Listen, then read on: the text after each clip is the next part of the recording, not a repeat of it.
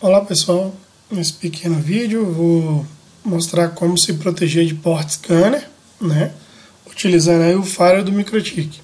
Né. Para quem não sabe o que é um port scanner, nada mais é do que um aplicativo onde você pode verificar de um determinado host quais são as portas né, que estão abertas para planejar aí uma possibilidade de ataque ou vulnerabilidade. Bom, é, vou fazer aqui uma regra, o Fire que eu deixei aberto aqui no MikroTik. Né? Você pode ver que não tem nenhuma regra. Vou fazer uma regra dizendo o seguinte, tudo que for com destino ao MikroTik, ou seja, input, ao meu roteador, protocolo TCP, eu tenho aqui a guia extra e eu tenho o PSD. Bom, deixo como default add src to address list, ou seja, quando eu identificar um tipo de conexão que está usando é, portas baixas e uma porta alta dentro de um determinado tempo, né, um determinado peso, eu vou pegar o endereço IP, ou seja, pegar o endereço IP e colocar dentro de uma address list. Eu vou colocar aqui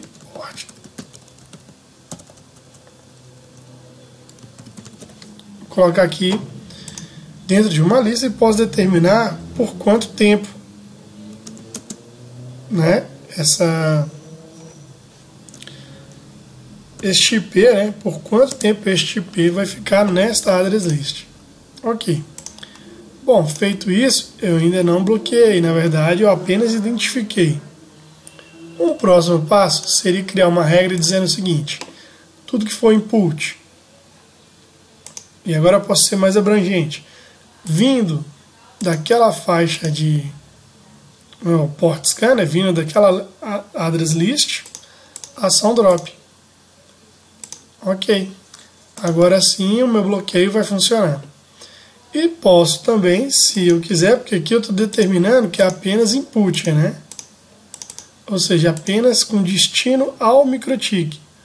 Mas se eu disser que eu quero bloquear também com destino para dentro da minha rede, poderia colocar aqui para forward e dizer que tudo que estiver vindo, né, daquela lista de IPs lá que ele vai pegar, drop. Ou seja, estou bloqueando agora também no canal forward que estiver vindo daquele daquela origem, né?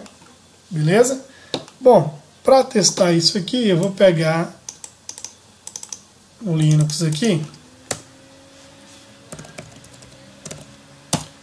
e vou rodar o comando lá, o nmap, né, que é um port scanner muito conhecido, port scanner muito conhecido. Estou colocando aqui o IP né, do equipamento que eu vou fazer o teste. Né. Quando eu der Enter, vocês vão ver que ali a regra vai contar. Tá certo? Bom, ela já contou e ao mesmo e bem rápido também já começou a, a dropar. Vindo aqui em address list, ó, eu tenho já o IP de onde estou sofrendo aquele ataque. Né? Na verdade, não é bem um ataque, né? Ou seja, é a verificação de quais portas estão abertas. Bom, é, ele vai demorar um pouquinho aqui. E eu vou mostrar para vocês o que eu tinha feito aqui também. IP serviços, IP services. Eu deixei aqui vários serviços ativos, né? Que por padrão alguns já vêm ativos no MikroTik um exemplo deles é, é a porta 22, é SSH, e que muita gente às vezes em fórum pergunta: ah, estou tendo um ataque na porta 22. Uma das formas que a pessoa identifica essa porta aberta é usando esse tipo de aplicativo. Ok? É, bom, acho que está aí o objetivo foi alcançado, que é realizar o bloqueio do port scanner. É, lembrando aí, eu vou, vou fazer outros vídeos, tá? Com foco aí em Fire, é, com dicas e etc. E até uma aula realmente sobre Fire em MikroTik. E vou postando aí os vídeos para vocês. Quem gostou do vídeo aí, dá um joinha pra gente, ou curte, a gente curte lá no Facebook. E se tiver LinkedIn, pode me adicionar. Muito obrigado aí. Até o próximo vídeo.